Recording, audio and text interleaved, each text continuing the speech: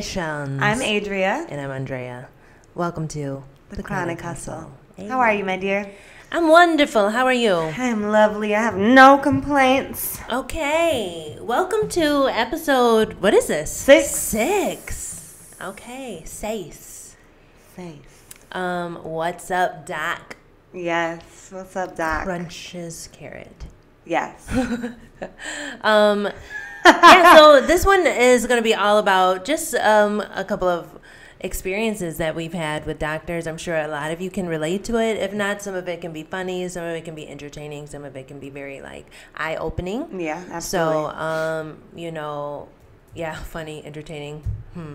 I don't. I don't know. I don't know if any of mine that are going to be funny funny, or or entertaining, but they can be. But yeah, so agree that they we are funny and entertaining as we tell the stories. Um, okay, so before we get into it, let's uh, do our icebreaker. Did you reach? Oh, it's my turn to reach with the claw. All right. And because I know that that's my question in there. Okay. I know we need to fill it up. If you guys have um, suggestions for icebreakers, Yeah, email us. yeah, Or DM us. Right. Yeah. Okay. That's a great idea. Um. So let's see. Oh, oh God! I just read it. What is in your trunk right now? Look, I'll go first. So, my trunk is the one area that just never stays like clean for me. Um, and anytime I go to the car wash and I get that full wash, I'm like, do not open my trunk.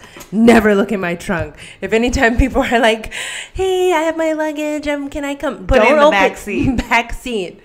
Don't look in my trunk. You would think that I have something um, a, a Criminal in there. yes. I do have a random, randomly, I have a paintball mask back there. And whenever somebody randomly sees it, they're like, why do you have a paintball mask? I'm like, because have you ever been paintballing?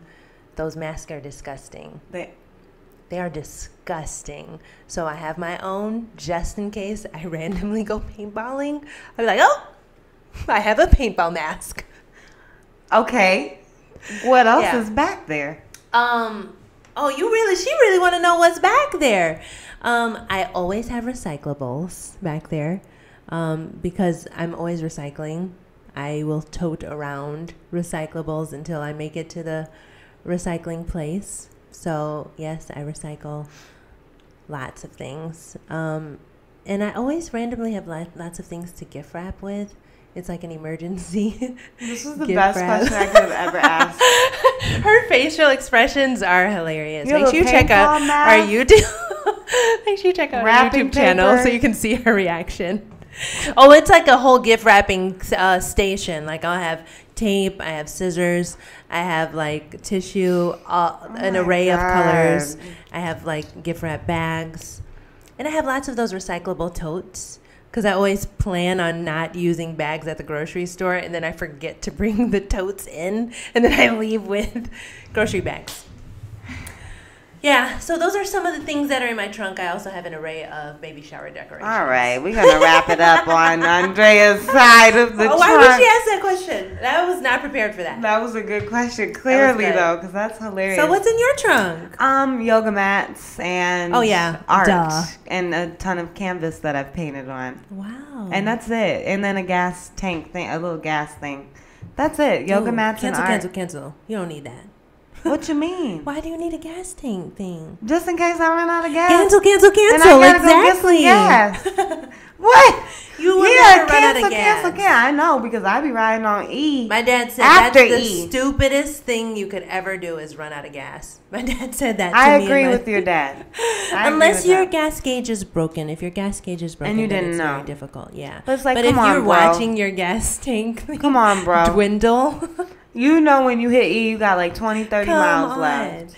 Yeah. So That's what's in my trunk. So Okay. um, I like that one. So yeah, if you guys have any good icebreakers, yeah, what's in your trunk? yeah, Comment below. we we we don't know where to like. Oh yeah, in our YouTube. yeah, Yeah, comment below. like, share, all of those things. subscribe. Click Um. Okay. Um, what's up, Doc? So let's start off with some of the worst experiences. The worst experience that you can Uh, um, imagine with your doctors or that you can recall your doctor? I've had two really just like what the moments Mm-hmm. at the doctor, and at two very different times, and they're short. Okay. Um, they're short. So Here, you can do one. I'll do one. Then you do one. Okay, cool. Okay. So, my very like one of my first experiences ever. So this is post diagnosis. I'm still 12 years old, Mm. and there's a medication out um, at that time called Remicade, but it hadn't been out for like over 10 years yet, and it it's still like on the market. Like when you would look at the side effects, like lymphoma was high on the side effects. Not in rare cases, it was still occurring, and my mom at the time she she did want me to have some relief and she was open to it but the rest of my family really was just like I don't think that this is a good idea. Maybe Yeah. take more of a traditional route. So Remicade is a it's a medication distributed um, intravenously, so through IV over Yeah. a period of time. Okay. And even that, like having to go and sit in a sterile environment for six or six to eight hours to get medicine just at 12, I don't think any of my family was interested in that for me. And my mom was just desperate for a solution. I understood what where she was coming from. So she agreed to it. And then the day that I was supposed to get it, she refused it on my behalf um, because I'm a child. And I remember being in the doctor's office and my mom very meekly being like, you know, I, the, our family just doesn't think it's a good idea, and we want to take the more traditional route for treatment. Mm-hmm. Y'all, that doctor got so upset. He was, he was pissed. He was pissed off at my mom. And I don't recall everything that was said, but I remember how I felt. I felt extremely uncomfortable. He was very demeaning to my mother. He was very like, "Why would you even come here? Why eh, you're not even you're not a good you're not being a good mother to your child." He implied a lot of things, and then he proceeded to ask us to leave. He kicked us out of that doctor's office. And I remember feeling like, who the hell is he talking to? But not verbalizing it. Yeah. And a lot of people that know me today, they know I'm I'm very I'm I keep it a 1000 Mm-hmm. and I always wish I was the woman I am today at 12 because Oh, I yeah. would have Don't we went in on him. Yeah. And that was just such like a ugh experience of like you Oh, don't care about terrible. me. You missed out on a check. Yeah. And and you were upset about that. Yeah. Um, so that was like that was one of my early on experiences, Okay. worst experiences. Okay, I can tell one of mine. Um, and I'm very sorry that Oh, that, that, that that happened. Yeah, we, we we yeah definitely let's you know hold space for that. Thank you. But we've also we've. We've this is dealt so with that, yeah, yeah. This is so far in our journey to Yeah, where we are now. So, but it takes nothing away from how you feel in that moment. That sucks. Yeah. Um, one experience was when I was experiencing incredible hip pain at this point. Um, I wasn't able to get in and out of my car without um, f- uh, physically assisting my, my legs into and out. I couldn't lift my leg basically. So I could walk, but I couldn't like step into a bathtub without like craning like Right. yeah, my leg into um, the bathtub, and same with the car. So I finally made an appointment with a doctor, and um, it's all about vibes. And we did not click. He was much older, and um, which nothing against older people, but um, I anyway. Um, I'm not going to describe him, but um, I'll tell you what happened. I went in and I was like, okay, I'm experiencing incredible hip pain. And so he recommended that I get an either an MRI or an X-ray. I forget which one. Um, but he was like, but let's let's see what else. So he had me stand up in his office, and so he's sitting in his chair, and he asked me to turn around. So I'm facing away from him. And I'm a tall woman. I'm in my 20s at this point, probably 23. And then he he basically he's like, "Okay, step close to me." And so like I backed in like I'm like confused right now at this point. And he so he starts kind of just like feeling my hips with his hands and i felt really uncomfortable and um, so he proceeds to kind of like press through my hip flexors and he's also has like his chest against my like my butt and i'm not saying that he was like um what's that like assaulting at any point um, but it just didn't feel right for the kind of pain that I was experiencing Right. for him to be like poking around like that. And he was just like, he, so he kind of just felt around. He was quiet. And then he was like, you know, I think you have iliopsoasitis, and which is inflammation of your iliopsoas, which it's like, okay. Um, it didn't really answer any questions for me. It's like, obviously, but what's causing that, sir? Right. And um, again, take a step back. Let's look at the bigger picture. Exactly. He just he just just was like, yeah, this is. And did he tell you like why he was doing what he was doing? He just no. He was very quiet. He did not even explain what he was about to do. I don't get it. I felt really uncomfortable, and I didn't. And literally, no questions were answered. And then he signed me up for physical therapy, and I went to physical therapy for that, and it and it did not help wow. at all. So that was one uh, pretty bad experience that I Yeah. had. Um, yeah, that sucked. I am so sorry that that happened. Yeah, I'm past it. Yeah. But yeah. Ew. Yeah. Um. Should I do another? My other. Let's do worst? worse, worse. Get it out of the way so that we can talk about the best. best. I have one I want to end it with the Yeah. best. I have one um, best experience, but my second worst experience was post surgery. Um, and I was, I mean, I had a very traumatic surgery, and my body was very fragile afterwards. Mhm. And um, the surgery I had removed um, part of my bowel, and so they reconnected it, and I had to get scoped a year after. Um, Wait, removed a part of your what? my bowel Like they moved your- 12 centimeter removed 12 centimeters of my bowel so we haven't talked about that that'll be in part two but Okay. yeah they removed during my surgery Sorry, when I hear the word bowel, I think of actual poop. No bowel like your small intestine Okay. Sorry, we we it's learn okay here. hey here we, and we also we know and we can talk about poop. yeah and, and we will uh, crohn's disease you know all my cronies we already know what's up yeah. so um uh, meaning like my actual small intestine 12 Ah, centimeters and then reconnected it. So where it was reconnected, I mean, when you have anything sewn back up or anything, it's swollen at first or Yeah, inflamed. yeah. Mine was like that for some time, especially because it was internal. Yeah. Um, and I got a scope, and the I this is a brand new doctor for me. Oh. I waited months to get into U of M's um, GI program. Like I waited months for them to to um, give me a call and get me on their schedule. And this doctor was older, and he was coined as one of the best. I have never been awake for a scope in any of my years. So that it had been about eight years then when I was getting scoped. I had I've had Crohn's. Were you at the main hospital? I was at the main hospital. I had been living with Crohn's disease for eight years. Never ever have I been left awake for a scope. Did they did they um did they like get you into like that like sedated kind of Not even in a twilight. They gave me propofol. They knocked me out. Typically, that that was the standard. That was the standard, especially when you have So severe. you're awake like how we are right now. I was in. They put me in a twilight, but you have to understand, Oh.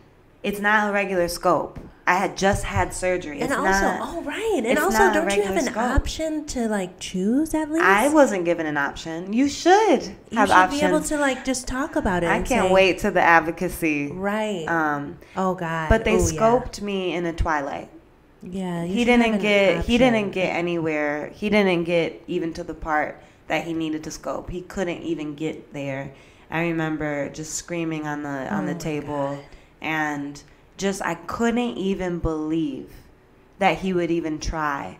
And what people have to understand is there's so many costs around certain procedures and things and so I didn't even understand you know even his disposition in doing that and his lack of understanding and his lack of, of, of my chart. I could tell that he didn't really understand the severity and it left me feeling so. It led me to my best experience, though. Okay. It led me there Okay. because I realized that this person wasn't progressive and that he also had stopped reading. He stopped Yes. reading. I think certain doctors why, get to a that's certain why, you point. know, uh, uh, that's why I kind of said, you know, that guy is older, but I don't want to say that all older people don't read and But they I'm aren't gonna keep it. A, I'm sorry, but I'm gonna say that most doctors who have been practicing for a long time, yeah. they stop reading the new research and they stop Right. reading the charts thoroughly and they stop asking questions. He barely talked to me. Had he spoken to me like a human, he would have known the things that I had just endured. And no way, never once have I been scoped awake. So why post surgery would you scope me awake? right. That makes no sense. yeah, and if you look through your history, it would it will say that you it will say that you were asleep when you were Every single scoped every time. single time. and it uh, should. yeah, and it just was ama- It was a eye-opening experience for me um, in the advocacy Mm. aspect. I can't wait for that episode. I know it's gonna be so because we we don't hold nobody up. I don't care if you a doctor, a lawyer. Look. I don't give a she she she she called it out. She's a warrior and I'm a dragon, period. and we will I will. advocate. Yes. Period. So I look for that episode Yeah. coming up. We're gonna have to. I'm gonna have to. Nope. No. Let's let it all out. Um, Period. okay. I have one more um, unfortunate experience um, with a doctor, and again, this is on my journey to um, diagnosis. So I was getting, I was going to all these doctors for these, this thing here, this thing there, and so this was um, when I was experiencing pain in my feet, and I thought that I had a broken foot. right. I thought I was walking around on a broken foot, and everybody's like, "No way that your foot is broken." But I was like, "I'm going to a foot doctor." So, um, my primary care, care physician, or yeah, I think I got referred to this doctor, and so I went to him, and um, you know, he looks at my feet, and he's like, "Your feet are so flexible. I don't understand why your your arches haven't collapsed by now." And I was like, "Okay, great, thanks." And he was like, "Yeah, but I mean, you know what? Your feet are your your feet are pretty much shot. You have a bunion. Um, you you just have to get surgery on your feet. There's nothing that you can do for for your feet. And then also you need to get these custom orthotics, and they're four hundred dollars. Um, we can give you some shots in your feet, and and I was like, okay, wow, that's a lot. He's like. Oh yeah, four hundred dollars. Yeah, they're. You know why they're so expensive? You probably voted for Obama, right? And Oh my God, I literally, my jaw dropped. Andrea. I couldn't believe that he would say something like that to me. Um, you probably have voted for Obama, right? That's why it's so expensive. And so I, I, I and, I, and at that point I didn't know how to. Sure. And also when you con- sometimes when you just get confronted with just so much blatant ignorance And you're already and in a like, vulnerable space, and you also didn't come here to talk about that. I didn't like, dog. My feet hurt. Right. You're a doctor. Stay focused. Aren't we supposed to be like working on a solution? Why are you talking to me about politics and who you're assuming that I voted for? Why? Assuming, and that's a really bold Because assumption you're- to make yeah, to, towards why a are black you- woman. Period. Interesting. Oh Period. my God. Um, Obama, I love you. Period. Come back, please. We're we're tired. Let's be honest. I love Um, you. Um, so yeah, I I was mortified by that entire experience. Um, I got nothing from him as far as like any answers again. Um, so And these people get billed for our insurance. Like these people get paid. We're paying them. yeah, he got paid. He got paid to make that rude statement to me. Tell me that And my feet deliver, are shot. Deliver solutions to you in such a um, apathetic way. yeah. Oh, your feet are shot. So you know what is amazing? I'm glad we are talking about this because one thing that I'm I'm very I feel very strongly about is that doctors need. I'm gonna say this blatantly, and I'm not looking for anyone to agree with me, but you're community serve. You're in community service to me, like a firefighter, like a police officer. You are here to serve your community And I feel like the culture within, you know, amongst doctors is very, it's like this programming that happens that takes all the humanity out of the experience. People are coming to you and they're not feeling well. Yeah. That's affecting their emotional, mental, and physical well being. Yeah. And the approaches sometimes are so lax and so um, unthoughtful. Yeah. You know? My mom speaks to that a lot. She's a nurse anesthetist, and she says that she has to create some type of like, um, what is that called? Uh, um, not, you know, what, um, Boundary? boundary. She has to create an emotional boundary because people come at such a vulnerable state, and you can be so affected by it. But I think that it it it without without having a proper outlet, wh- whether it be therapy, journaling. Um, meditation, something where you can connect back to your own humanity and to Or your therapy. own, yeah, your own empathy Yeah. um, you you will overall become very hardened. Especially when you're in the industry of helping others. Yes. You you need that, and I think this is a perfect segue into our best experiences. And I just realized, just thinking about the experience I'm going to share, literally ex- the experience I'm about to share intertwines both of my negative experiences, and I just realized it now. After that doctor scoped me without putting me asleep, um, I immediately requested a new provider. And we'll get into that in the advocacy of how you can pick whoever you want to treat you. And I literally was like, I want a new provider. I want them now, and I want to be rescoped. I someone recommended um, the current doctor that I have now, young guy, um, in his 30s, and I remember meeting him, and he he just before my procedure, we had a whole conversation. I'm set up for the procedure, and him and I are just talking, you know, and it feels so human. It just feels like this is how it should be. We should be connecting before you put me to sleep and put something in me and, and go look around. Like that's an invasive trauma. Even when you're getting these short procedures, mm-hmm. they're traumatizing your body, period. Absolutely. And it's also triggering to have to keep going since you're 12. Like you have to keep going back into that space. Yeah. And he greeted me with such like kindness and peace and he described everything that he planned to do and he scoped me and the scope went great. He came back, he broke everything down for me. And then we turned around and we talked about my treatment together. So I scheduled an appointment with him in his in just a regular doctor's office and we sat for at least an hour. Not him poking and prodding me on a on a table. Um sitting face to face like you and I are doing now, talking about my options and talking about Remicade. Remicade came back 10 years Wow. later for me. So t- now it's been out for 20 plus years. I want to know more about it, and he believes this is the drug that is going to help me the most. And at this time, I was I was highly considering Western medicine because I was tired, I was Yeah, exhausted, absolutely. and I wanted quality of life for myself. But I also wanted to know, can I get off of it? Is it um, a drug that I'll be dependent on? Is my immune system going to be able to regulate after I'm off of it? Can I have kids if I'm on it? Um, what are the real side effects? What are the real um, cautionary things? We talked straight up, Yeah. face to face, for an hour. Mm. And I don't even think he touched me once during that exam. Yeah. It was just human to human. He was not above me in that moment.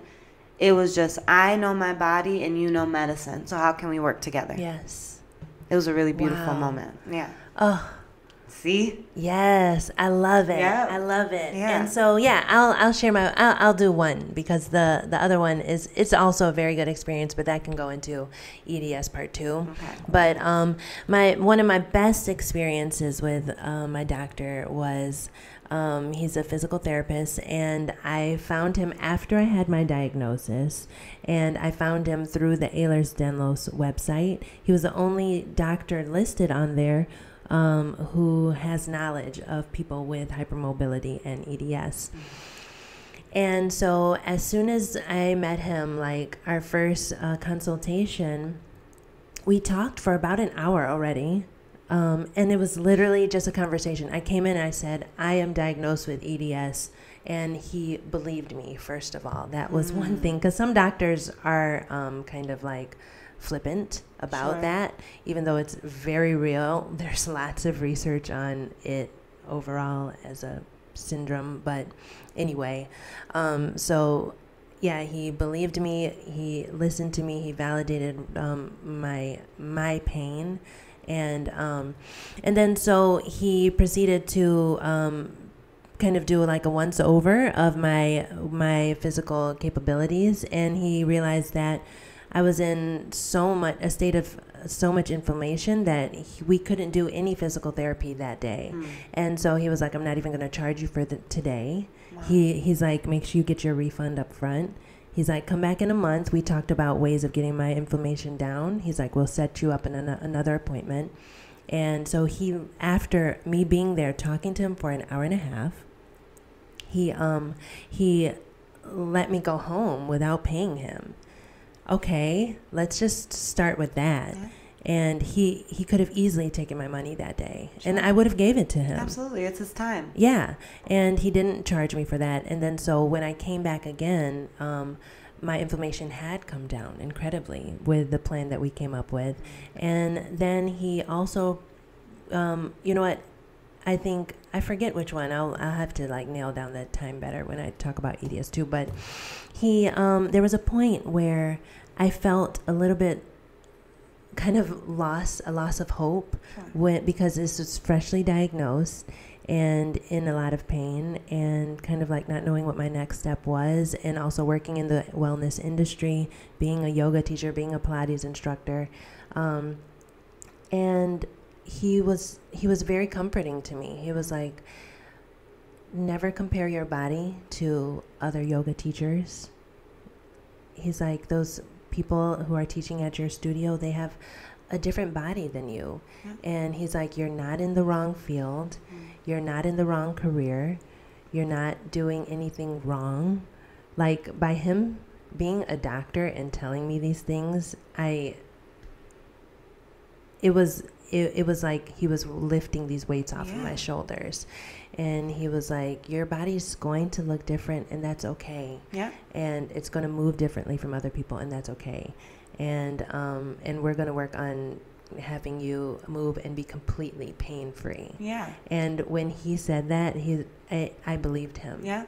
And um yeah, it was one of my best experiences, and I continue to go to him, and he's phenomenal. Yeah, and so. and that to me is the true job, is using your knowledge, using what you know, to assist somebody in achieving quality of life. And oh my God, one more thing about yeah. him, like by by him being speaking so like knowledgeably about it, yeah. um, me and my mom went home like he has to have hypermobility or you know some type of condition and so uh, when i came back to him i was like do you have eds and he was like no i don't and he's like why would you think that he kind of laughed and i was like because you spoke so knowledgeably about it and so like empathetically about it and he was like well i mean I don't have to have a heart attack to be a cardiologist. Right. And and that is that's He's like, the, this is my job to know yeah, about that's this. when the empathy comes yes. in and the ability to put yourself into someone else's shoes. Absolutely, and he did that. And incredibly. to position yourself that patient doctor advocacy. And that it's so hmm. important because we rely on doctors. We do. There is no one right way to approach your treatment but you will interact with a doctor at least once to get your at least to get your diagnosis Absolutely. like and i just really feel strongly that we need to strengthen those relationships yeah. um, but that we also need to understand um, that we deserve to be treated in a humane way absolutely you know and and the doctor really has a lot of power in that yeah. and so um, yeah, I'm really glad that you had that experience. I remember you telling me about that, and it was really profound. He made me and my mom cry. Yeah, it's like, important. Cry. Yes. I was like, whoa, hold on, wait, just stop for a second. I did not come here to cry. Yeah. He he definitely like And that's he beautiful. he touched our hearts. He was so very good. very kind. So That's so good. Um, So if you guys have any worst experiences, best experiences, you can comment below or you can always email them to us at thechronichustle at gmail.com. We'll share a couple of them, um, Mm-hmm. Yeah. whether via our stories Right. or, um, you know, just posting. yeah. And I think we're going to wrap it up from Yeah, here. I, I do think that it's important to say that you can you can have these best experiences, and Yeah. that that came from us Having advocating for it. So we will we will get into that, but I I searched for that doctor. You Yeah. you you put my foot down. insisted Yeah. upon finding that doctor. And that's really important. And Yes. we're gonna have a whole episode on that. Right. We're we're So, actually gonna offer yeah. tools and like yeah. things that you can so actually. if you've doing. had bad experiences, we've been there. There's there's more. We had to narrow it down for this, but and sometimes you have to have a bad experience in order to know what the good ones even look like, absolutely, yeah, because it can get really um, wishy washy. absolutely. So um, we're excited. I'm excited for episode 7 Mhm. Um, again, if you guys have any questions, you know where you can email us. Follow us at the Chronic Hustle. Mhm. Um, Adria Moses. Andrea Mahal, yes. yeah. And we're gonna sign off from here. Thanks for listening Bye. and watching.